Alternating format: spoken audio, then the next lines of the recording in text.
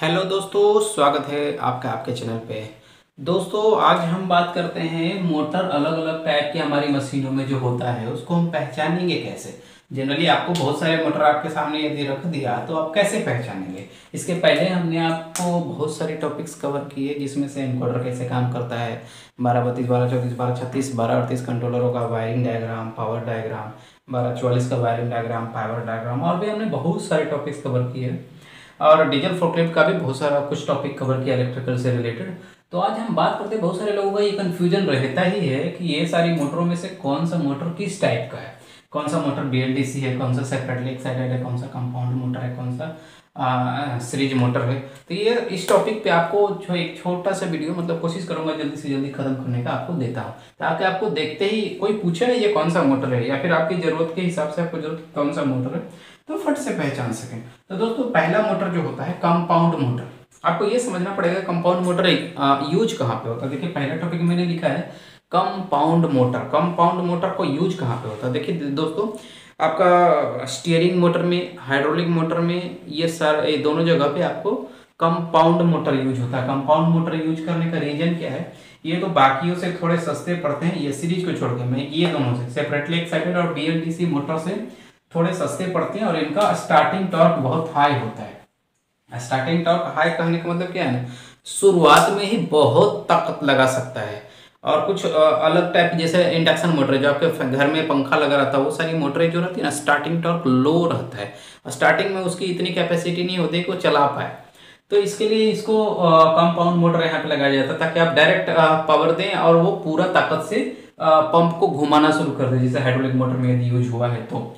तो उसको लिए कंपाउंड मोटर यूज़ होता है। कंपाउंड मोटर में आपको देखिए सबसे पहले तो सब चीज़ में मैं यही बोलूँगा उसमें एक आइडेंटिफिकेशन सीट लगा रहता है सभी मोटरों में।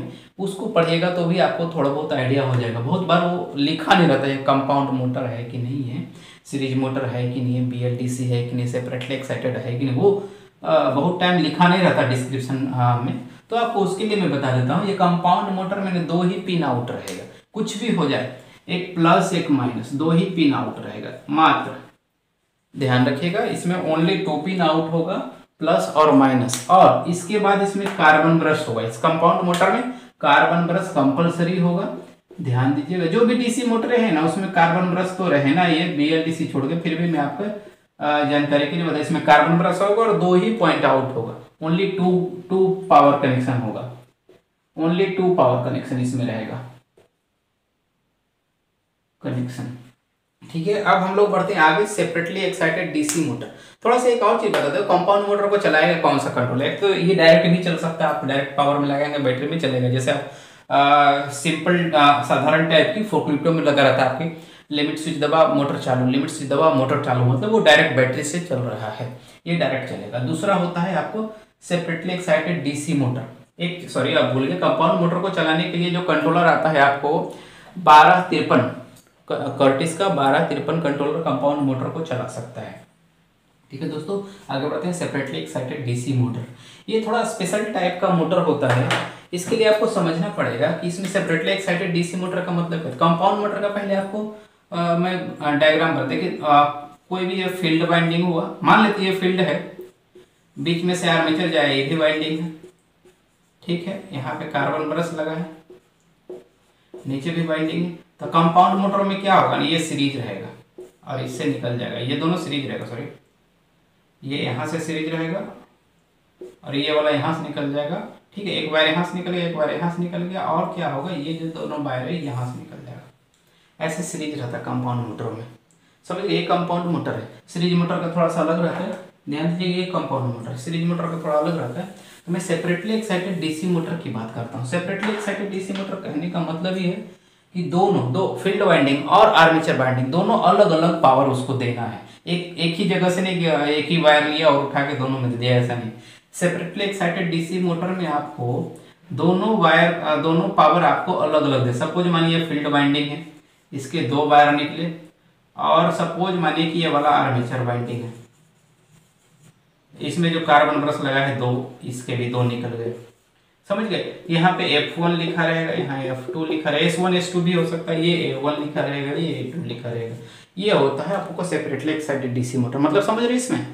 एक, दो, तीन, चार। इसमें चार पॉइंट आपको निकलेगा। चार पावर कनेक्शन रहेगा। Power connection F one F two F one F two और ए वन ए टू चार पावर कनेक्शन रहेगा इसमें। तो समझ जाइए कि सेपरेटली एक्साइटेड डीसी मोटर है। अब बोले कि कंपाउंड मोटर भी डायरेक्ट भी चलता है प्लस कंट्रोलर से भी चलता है, इसका स्टार्टिंग टॉर्क बहुत हाई है। तो सेपरेटली एक्साइटेड डीसी मोटर की ज़रूरत ही क्या पड़ी? तो इसका जानकारी के लिए आपको बता दूँ, इसका भी स्टार्टिंग टॉर्क बहुत हाई होता है रनिंग टॉर्क भी बहुत हाई होता है। लेकिन इसमें क्या है, एक फ़ायदा कि आपको जब इसको इसका कंट्रोल कम है। सपोज़ माने आप एक्सलेटर दबा रहे हैं दस किलो, पाँच किलो ओम का। तो हो सकता है इसका वेरिएशन सात, आठ किलो ओम तक जा सकता है। मतलब कहने का मतलब पाँच हज़ार आरपीएम आपको घुमाना तो हो सकता है। साढ़े छह हज़ार आरपीएम, साढ़े चार हज़ार आरपीएम का डिफरेंस आपको रहेगा मतलब डिफरेंस रहेगा। आपको एग्जैक्ट आउटपुट ये नहीं चलेगा।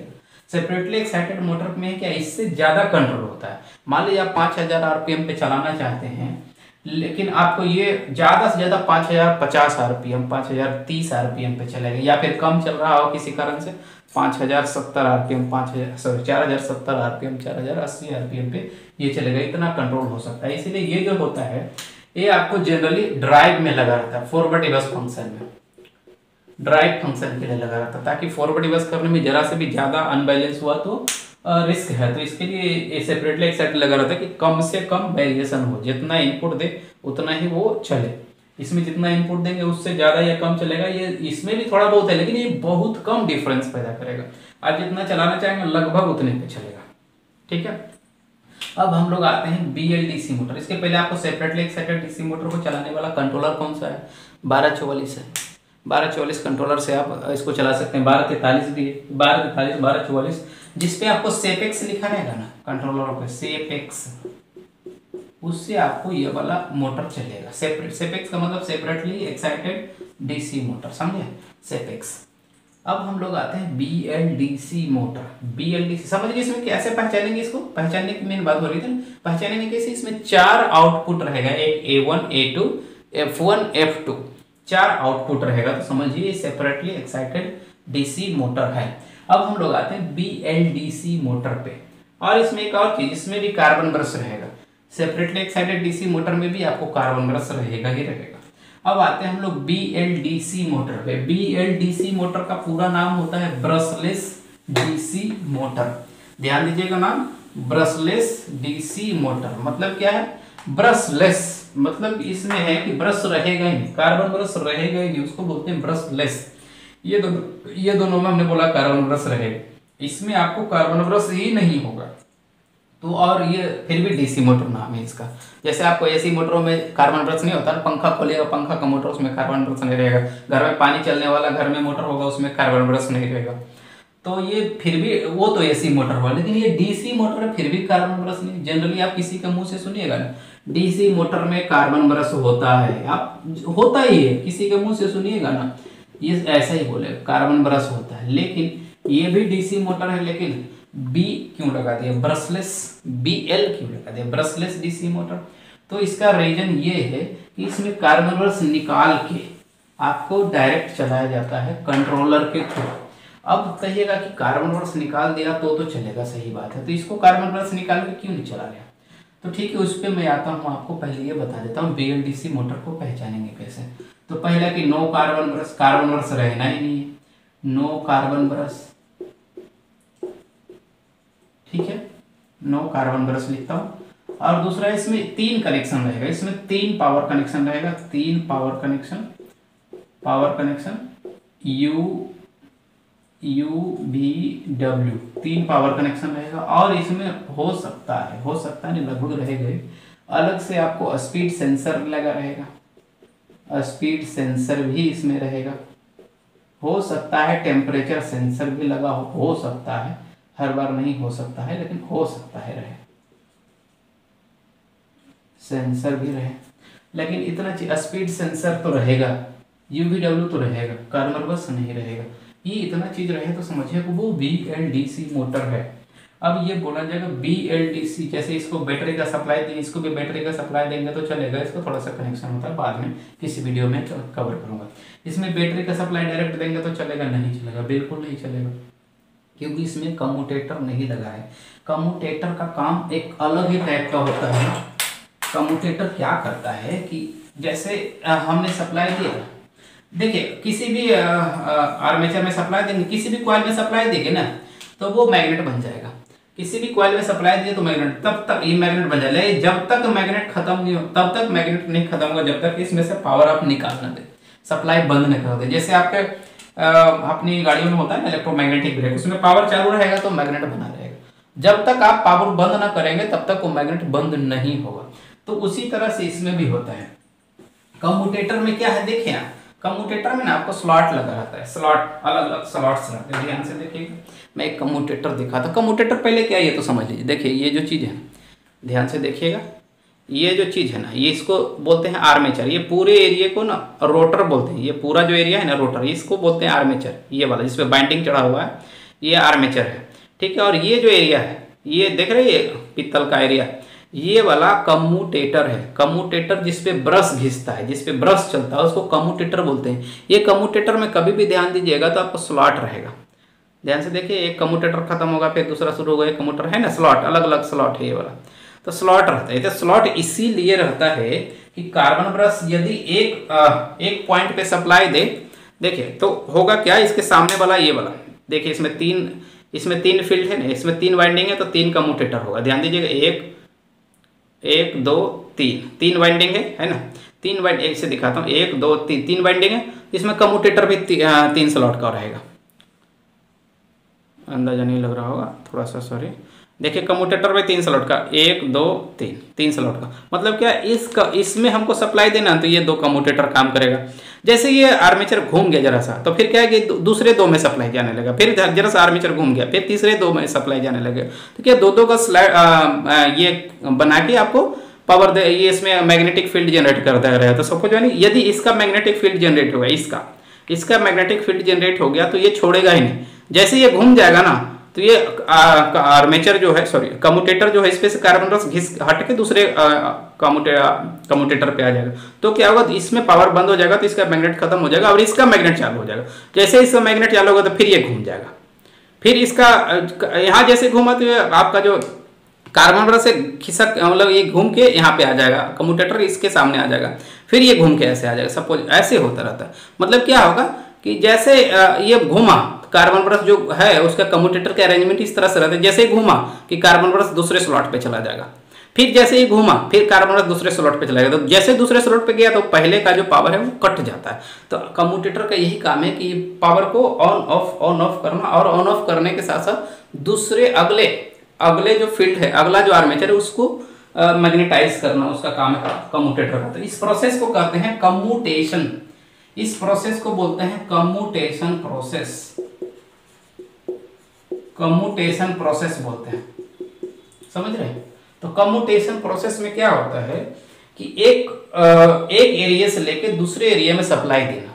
मतलब एक आर्मेचर के एक एक एरिया से लेके दूसरे एरिया में सप्लाई देना को कम्यूटेशन प्रोसेस बोलते हैं तो उसी के हिसाब से मोटर चलता है। लेकिन अब हम बात देखिए इसकी डिटेल में मैं नहीं जाऊँगा कभी और कवर कर दूँगा बीएलडीसी मोटर का क्यों नहीं चलता है डीसी पे तब तो लेकिन ये बीएलडीसी मोटर में तो का, आ, ये आपका कम्यूटेटर लगा ही नहीं होता था कम्यूटेशन प्रोसेस होगा कैसे? मैंने क्या बोला?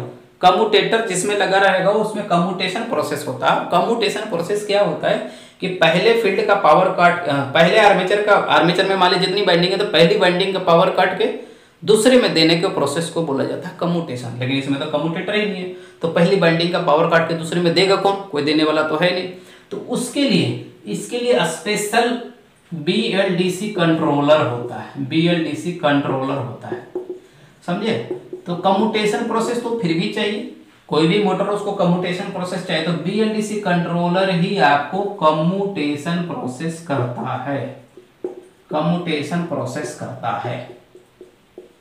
समझ गए अब इसमें कम्यूटेशन प्रोसेस कैसे होता? है यू वी डब्ल्यू है। इस, उसमें बाइंडिंग भी ऐसे रहेगा तीन अब सपोज़ मैंने ये दोनों बाइंडिंग में पावर दिया हुआ है सीरीज़ हो गया से तो ये दोनों मैग्नेटाइज्ड है।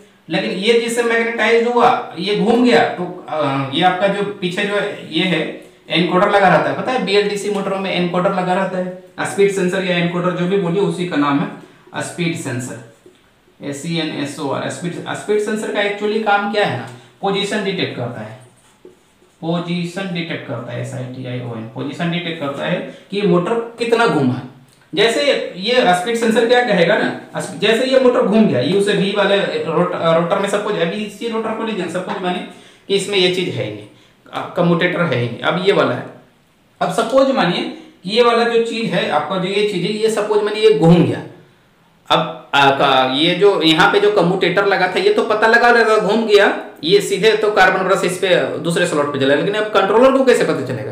क्योंकि अब तो कम्यूटेशन प्रोसेस कंट्रोलर कर रहा है। तो उसको कैसे पता चलेगा? तो उसको बताने के लिए एक एनकोडर लगाया जाता है एनकोडर वो एनकोडर क्या करता है? जैसे ये घुमाता कंट्रोलर को बताया हाँ भाई घूम गया इतना अब दूसरे को दो सप्लाई तो जैसे कंट्रोलर को एनकोडर बता देगा ना कि ये वाला घूम गया तो अब क्या करेगा? कंट्रोलर इसको पावर काट के इसको दे देगा। फिर बोलेगा कि कंट्रोल फिर इनकोडर बोलेगा फिर भैया घूम गया फिर भाई साहब घूम गया, तब इसको पावर काट के फिर से इसको दे देगा। फिर अभी बोलेगा घूम गया, तब इसको पावर काट के इसको दे देगा। तो ऐसे घुमाते रहेगा घुमाते रहेगा, घुमाते जिस क्या हो यू भी बी डब्ल्यू डब्ल्यू यू ऐसा सप्लाई होता रहेगा। फिर घूमेगा, फिर U B V W W U B V W W power काटता रहेगा। लेकिन इसको पावर काटने का कैसे पता चलेगा? सपोज़ माने मोटर घूमा ही सपोज़ मैंने मोटर घुमाया नहीं तो इनकोडर को, ये कंट्रोलर को कैसे पता चलेगा कि पावर काट के अगले फ़ील्ड में देना है? तो वो आपको उसके लिए पोजीशन एनकोडर जो एनकोडर हम लोग करते हैं, वो पोजीशन डिटेक्ट करता है आपके रोटर का। तो उसके बाद आपको इसमें चला, ये कम्यूटेशन प्रोसेस इस तरह से होता है। तो कम्यूटेशन प्रोसेस जो होता है बीएलडीसी मोटरों में आपको कंट्रोलर के थ्रू होता है और कंट्रोलर को पोजीशन डिटेक्ट करके देता है आपका एनकोडर इसलिए एनकोडर खराब होगा ना तो मोटर चलना ही बंद हो जाएगा, या तो बहुत ज़्यादा हीट होने लगेगा। क्यों? क्योंकि कंट्रोलर को पता ही नहीं चल रहा है कि किस समय किस फ़ील्ड में पावर देना है। हो सकता है वो ज़्यादा अलग अलग टाइम में दे रहा हो, जबकि ना घूमना। कभी कभी क्या इन्वर्टर का दो फ़ेज़ रहता है फ़ेज़ ए फ़ेज़ बी यदि दोनों फ़ेज़ खराब होगा तो मोटर में पावर तो जाएगा करेगा, लेकिन घूमेगा क्योंकि वो पावर अगले अगले को ट्रांसफ़र नहीं कर रहा है, एक ही फ़ील्ड में दे रहा है, यही खींच के बैठा है। क्योंकि जब तक एनकोडर चालू नहीं होगा तो एनकोडर को बताएगा नहीं कि भाई ये घूम गया तो दूसरे फ़ील्ड में दो पावर तो क्या एक ही जगह पावर चालू करके बैठा रहेगा कंट्रोलर तो मोटर को घूमने नहीं देगा तो वैसा ही होता है। ये इसमें आपको बीएलडीसी मोटर में सिर्फ़ फ़ील्ड बाइंडिंग रहता है आर्मेचर बाइंडिंग नहीं रहता है, क्योंकि इसमें कम्यूटेटर ही नहीं होता है आर्मेचर बाइंडिंग इसीलिए नहीं होता। आर्मेचर बाइंडिंग रहता है, लेकिन इंटरनल रहता है, आपको ऊपर से नहीं दिखेगा। तो इसको पहचानने का एक और तरीका है, इसमें सिर्फ़ फ़ील्ड बाइंडिंग रहता है ओनली फ़ील्ड बाइंडिंग रहेगा बीएलडीसी मोटर में, ठीक है? पहचान गए एक अलग टॉपिक एक अलग में हम कवर करेंगे कम्यूटेशन प्रोसेस कैसे होता है, क्या होता है क्यों होता है। ये बीएलडीसी मोटर में अलग से आपको एक और हमने कवर कर लेते हैं कि हम लोग इलेक्ट्रिक फोकलिफ्ट का सारा मोटर तो कवर कर लिए। ये एक चौथा लाइन आइटम मैंने लिखा है डीजल फोकलिफ्ट में जो स्टार्टर मोटर लगा रहता है इंजन को स्टार्ट करने के लिए। उस मोटर को हम लोग सीरीज़ मोटर कहते हैं, सीरीज़ मोटर समझ गए? सीरीज़ मोटर अब सीरीज़ मोटर क्या होता है, ये समझिए। आप सीरीज़ मोटर को पहचानेंगे कैसे? वो बाद में बता तो पहले होता क्या है? सीरीज़ मोटर दुनिया का इकलौता ऐसा मोटर है जिसका स्टार्टिंग टॉर्क सबसे ज़्यादा है। स्टार्टिंग टॉर्क बार बार मैं चिल्ला रहा हूँ, लेकिन शायद आप लोग में भी कंफ्यूज हो रहे होंगे। स्टार्टिंग टॉर्क वो टॉर्क मतलब ताकत। मोटर के ताकत को टॉर्क बोलते हैं। सीधा सिंपल भाषा में समझिए। मोटर के ताकत को टॉर्क बोलते हैं। एक और दूसरा एग्जांपल देता हूँ। जो आप घुमाते ना किसी चीज़ को ऐसे, घुमाने की प्रक्रिया में जो ताकत लगती है, उसको टॉर्क बोलते हैं। तो मोटर भी घुमाता है। इंजन भी घुमाता है। इंजन जब चलो तो भी घुमाता है। तो सारे वो जो घुमाते हुए जो ताकत लग रहा है, उसको टॉर्क बोला जाता है। तो इसलिए हमने बोला मोटर की ताकत को टॉर्क बोलते हैं, क्योंकि मोटर भी घुमाता और कुछ नहीं करता, मोटर का काम ही है घुमाना। ठीक है? तो मोटर, ये जो सीरीज़ मोटर है, इसको डीसी सीरीज़ मोटर लिखना अच्छा रहेगा। डीसी सीरीज़ मोटर जो है, इसका स्टार्टिंग टॉर्क दुनिया में सबसे ज़्यादा हाई होता है। भले इसका कंट्रोल नहीं रहता है, ये कंट्रोल आउटपुट नहीं देता है कंट्रोल कंट्रोल आउटपुट नहीं देता है। आउटपुट नहीं देता है। समझिए कंट्रोल आगे में भी पावर आप बारह बोल पाँच हज़ार आरपीएम पे चलाना, हो सकता है तीन हज़ार आरपीएम चले, हो सकता है आठ हज़ार आरपीएम घूमे। इस पर कंट्रोल नहीं है मतलब बहुत ज़्यादा कंट्रोल नहीं है। इसलिए इसको ड्राइव में यूज़ कभी नहीं किया जाता है। ड्राइव फॉरवर्ड बस चलाने के लिए कभी नहीं, क्योंकि फॉरवर्ड बस चलाने में यदि कंट्रोल नहीं है अच्छा। तो आपको वो एक्सीडेंट होने के चांसेस रहेंगे। तो आपको डीसी सीरीज़ मोटर में क्या होता है? स्टार्टिंग टॉर्क बहुत हाई होने के कारण हम लोग इंजन स्टार्ट करने लेते हैं। इसका एक खराबी क्या है कि आप इसको ज़्यादा देर तक रनिंग नहीं कर सकते एक बार चला दिया, लेकिन ज़्यादा देर रनिंग मतलब आप ज़्यादा ज़्यादा एक बार में पाँच से दस सेकेंड या चलो ज़्यादा आपको खींचना है तो तीस से चालीस सेकेंड तक आप चला सकते हैं। उससे ज़्यादा आपने चलाया तो समझिए मोटर जल जाएगा। क्योंकि ज़्यादा स्टार्टिंग टॉर्क है इसका, इसलिए ज़्यादा करंट लेगा। मतलब जितनी ताकत लगाएगा, उतनी करंट लेगा।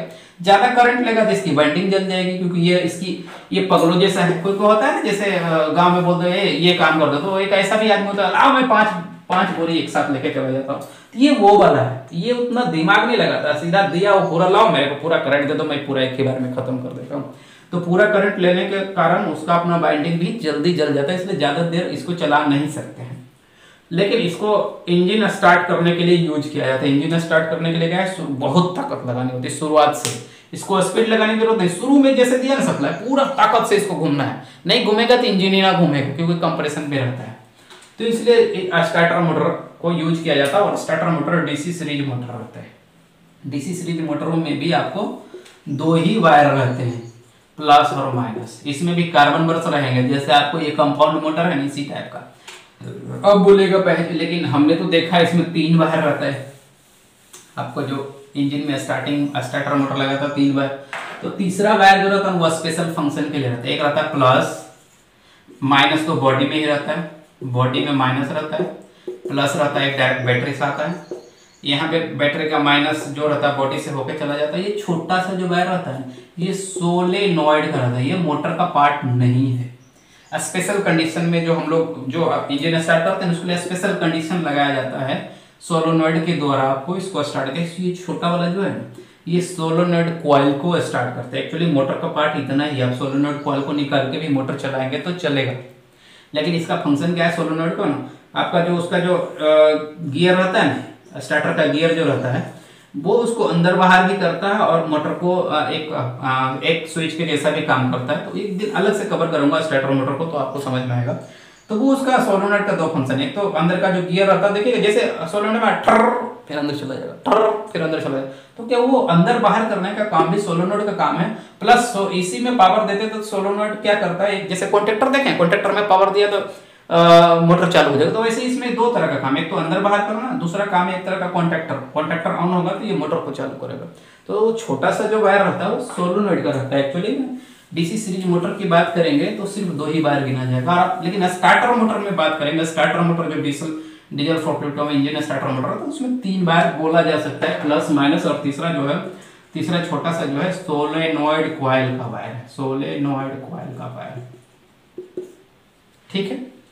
इतना ही रहता है। किसी अलग अलग टॉपिक आप कमेंट करके बताना आपको कौन सा, मैंने बहुत सारी चीज़ें बताई।